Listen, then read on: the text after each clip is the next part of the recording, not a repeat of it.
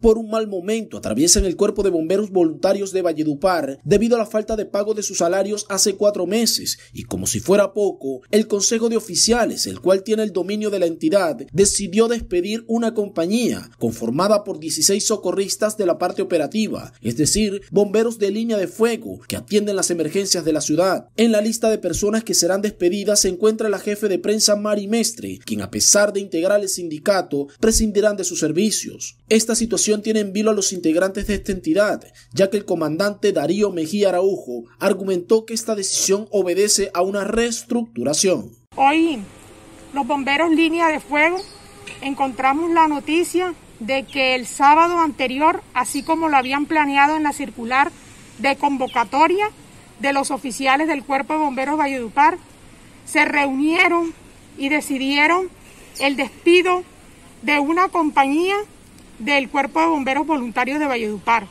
Aproximadamente son más de 15 bomberos que serán despedidos y nos parece una situación injusta.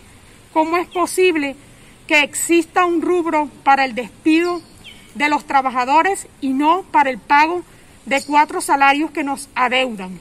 Igualmente, también aclarar que la ley bomberil dice que es un bombero por cada mil habitantes. O sea que en Valledupar deberían haber más de 500 bomberos y somos 60 en este momento, lo que pondría aún más en riesgo a la comunidad vallenata para mantener la seguridad. Hacemos un llamado al Ministerio del Trabajo, al Ministerio del Interior, al alcalde, que por favor nos colabore en esta situación tan difícil que estamos atravesando. Nueva Clínica de Santo Tomás. Brindamos la prestación de servicios de salud con los estándares más altos en calidad y eficiencia. Aquí nos dedicamos a cuidar cada detalle por el bienestar y tranquilidad de nuestros pacientes y sus familias.